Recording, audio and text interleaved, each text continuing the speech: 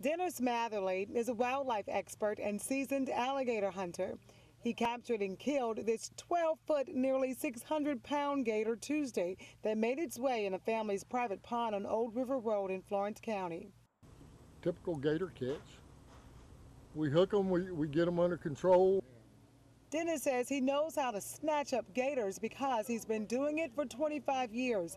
He owns Pee Dee Wildlife Control in Florence and is one of the wildlife control operators the Department of Natural Resources uses for nuisance gators. DNR sends for Dennis when they get calls on alligators causing problems.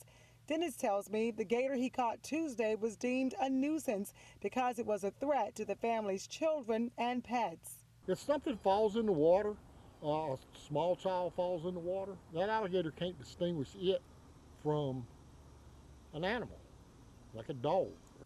DNR says the alligator couldn't be relocated because of its size, and if they were to move it to another location, it could still be considered a danger to the community. So Dennis tells me he had no other option but to kill it.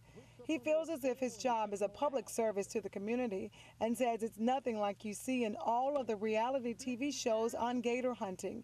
Dennis Matherly says he feels good knowing he's brought a sense of peace to the family who lived in fear with a 12 foot gator living next to them.